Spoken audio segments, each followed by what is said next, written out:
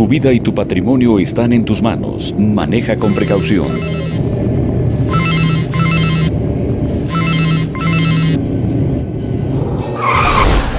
Más vale perder una llamada que tu vida. Hablar por celular mientras manejas te puede costar más que una multa. Policía Federal, Gobierno del Estado de Tlaxcala, Desarrollo para Todos.